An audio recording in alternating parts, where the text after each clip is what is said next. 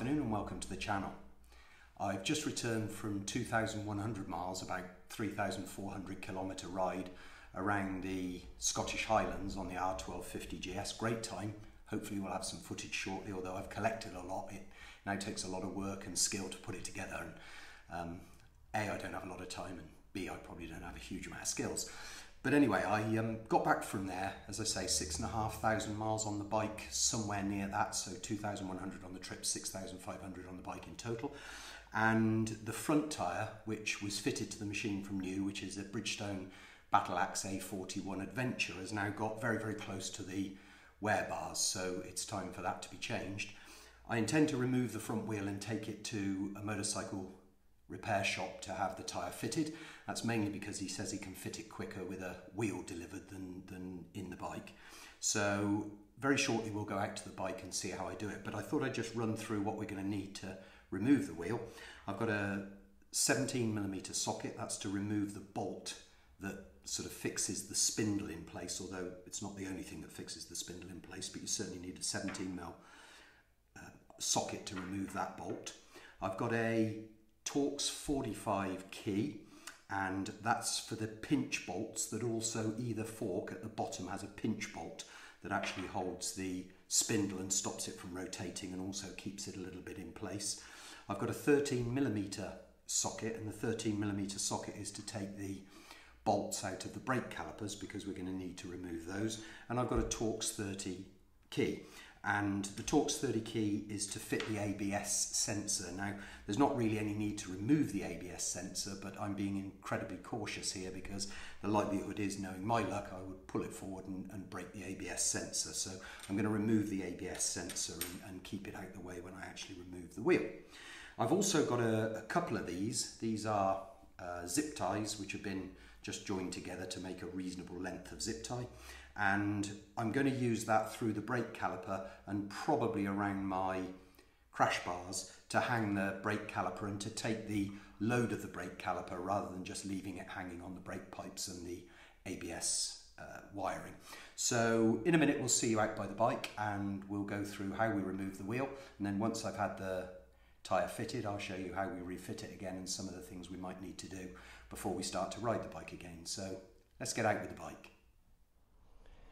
Okay, so hopefully as you can see here, she's a Bridgestone Battlaxe Adventure A41 and size is 120 70 R19 so that's the tyre we're going to replace her with and hopefully if I spin this around um, you'll be able to see. We're looking for the worst of the wear bars and of course the worst of the wear bars will be near the centre but there's a wear bar just there. I don't know whether you can quite see that in the picture but you can see it's getting pretty close to smooth in that place.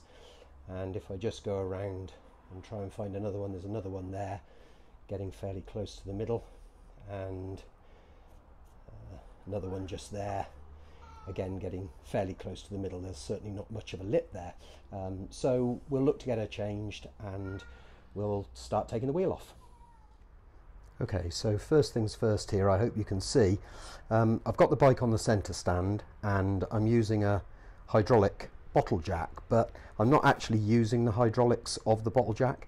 My reasoning behind that is that the front wheel's going to be out for maybe a couple of three days and the hydraulic jack could start to basically move downwards and, and lose pressure in its hydraulics. So I've had somebody lean on the back of the bike and I've used the screw extension in the jack so that effectively it's acting a little bit like an axle stand and certainly if you had axle stands that might be a better thing to use or maybe a very large chock of wood to hold it so that it is firmly fixed and isn't going to gradually creep down and maybe the bike collapse and fall over.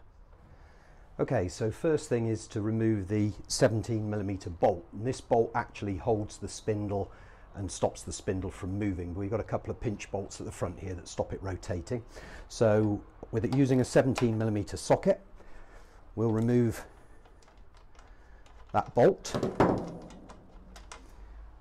And there she blows, and now we can see it's a clear piece here. Okay, and more for safety's sake than a necessity, we're going to use a Torx 30 key to remove the ABS sensor. There we go, and if we look at that bolt carefully, um, we'll see that it does have Loctite on it. So we'll just make sure that we Loctite that again when we put it back. And then we just pull the ABS sensor out to remove it. As I say, no necessity to do that. It's just I want to feel safe and this will all come away then with the brake caliper. Okay, so now we're going to remove the two 13 mil headed bolts from the brake caliper.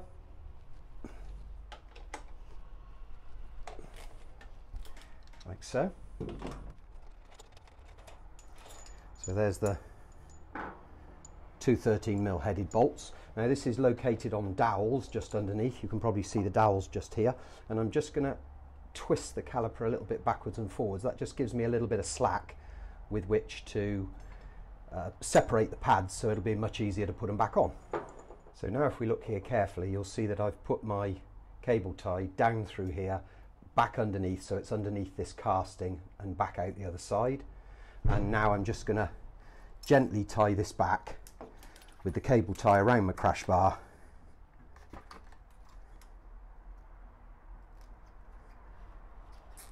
Like so. And now the the weight is being taken or will be now is being taken by the crash bar not by the uh, not by the cable and the and the hoses okay so you'll notice as well just so they don't get lost I've put the bolts from the brake calipers into the place and the bolt from the ABS sensor back into place. And now we'll just go and repeat what we've just done with the brake caliper on the other side. Okay so once again remove the two 13 mil headed bolts. Like so. Ease the caliper back off its dowels here and then just tweak it left and right which just separate the pads enough for it to be put through there. And then same again just route my cable tie up through like so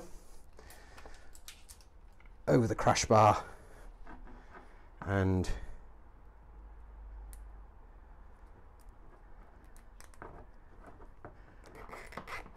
just pulled up to remove the weight off the pipe so it's not actually physically hanging off the pipe. Now all we've got to do is the two pinch bolts either side and we should be able to push the caliper out. But once again, I'm just going to put the bolts I've removed back in place so I know exactly where they go. So lastly, it's the two T45 pinch bolts like so.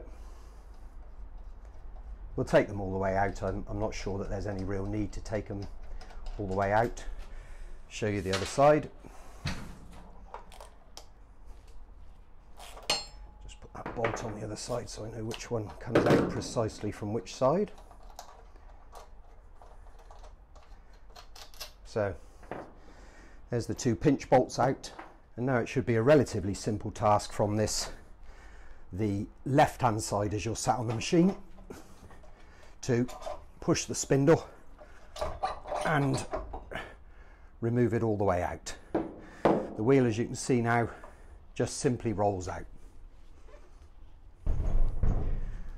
And that's it. So that's the wheel removed. I can do a bit of cleaning while I'm got the wheel out of the machine, but I'm going to run that now down to the dealers and have the new tyre fitted and we'll be back to refit it. Just one very quick thing to remind you of on the ABS side, so I've got the wheel reversed now, so this is on the left hand side as you sit on the bike.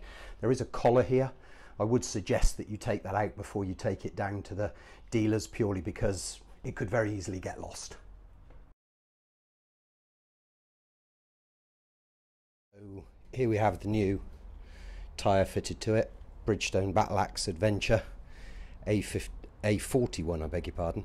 Um, we're now going to slide it back in the vehicle. Just one of the things I will show you because I dropped the wheel off at a dealer, you'll see that I actually put cling film straight through the wheel, block this off. Of course, he's had to use a hole in it for the balancing.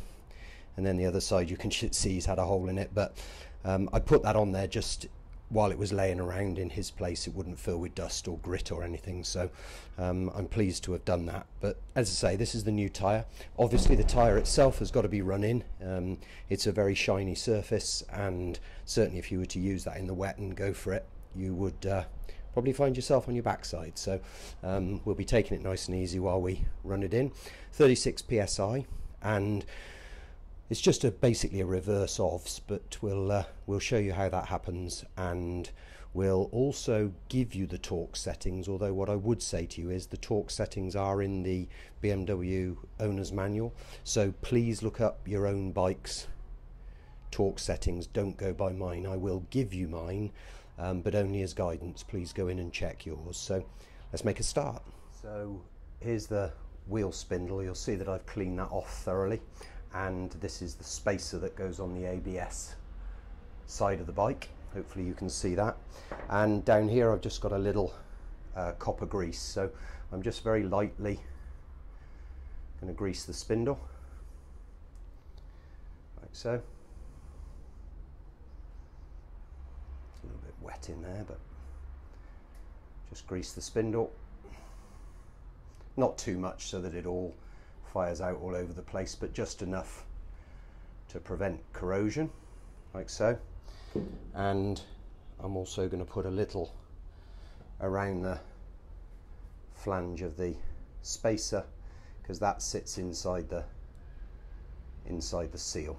So a little bit of grease there. Okay, so we've now got the spacer in here. So hopefully you can see well maybe you can't but it's perhaps just a little out of shot but here I've got the spacer in place lubricated. I'm now just going to ease the wheel in and you can see the spacer goes inside here. And the spacer for the other side is actually this flange here. So I'm actually going to apply again a little bit of grease there because that's actually going to sit against the seal on the other side of the wheel. So that'll just help that. And then we just simply insert as you can see the spindle in and with it lined up just push it in situ. Not quite in there yet. Okay there we go. So like so. So you can see that the spindle itself now is pushed through and certainly if we just look down here you'll see a little bit of excess grease. We'll just wipe that off. Um, but you don't you don't need much because if you put a lot on it will only just squeeze its way all out the side. So we've pushed that in all the way now. And now we're going to go to the other side and put the bolt in. Okay so the first thing is to put the 20 mil 17 mil bolt here.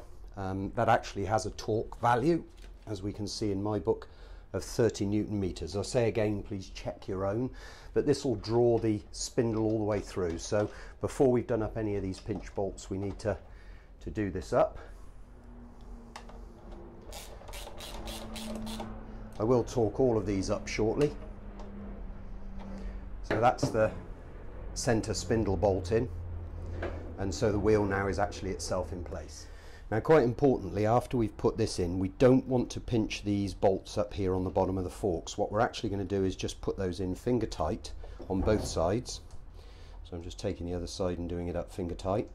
The reason for that is, is we're going to take the bike off its stand. Once we've torqued this center bolt up here to 30 newton meters, we're then, before we tighten these pinch bolts either side, we're going to bounce the bike on its frame. That helps to center everything out. But that's pretty much the last thing we'll do and then we'll torque up the pinch bolts on the side. The next thing we're going to do is put the brake caliper. Okay, so you'll remember that we strung up the caliper to my crash bars with cable ties to stop any strain on the brake hose here and the ABS wire here. So I've now released that um, and I'm now going to put the caliper on. I also ease the caliper out so that gave me a bit of room and I should be able, like so, to very simply drop it back in, not forgetting that I need to put this ABS wire holder here into place and then we'll just screw these down. Again, I'm going to do these to a first pinch first. They will be torqued up later. In my machine to 35 newton meters, your machine may be different, particularly if you've got a 1200, because you may well have the Brembo discs and I don't know what those are. So please check it in your own owner's manual, but mine's going to be torqued to 35 newton meters. Okay, so same on the off side or right hand side of the bike. Again, I've parted the pads when I took it off, so we should find they'll slide on fairly easy, like so, onto the dowels. No ABS obviously on this side. So we'll just literally get the two bolts and wind those into finger tight. And I'll just loosely pinch them with this just to hold it in and before I torque it. And I'll come back and torque those to 35 newton meters. Again check your own. Thanks. Okay so lastly in reassembly you'll remember we took the ABS wheel speed sensor off. And you'll also remember hopefully that this 6 mil bolt had some thread lock on it. We showed you that in the disassembly. So I'm just going to put a little dab of thread lock back onto that. Push the speed sensor into the wheel like so and refit the screw.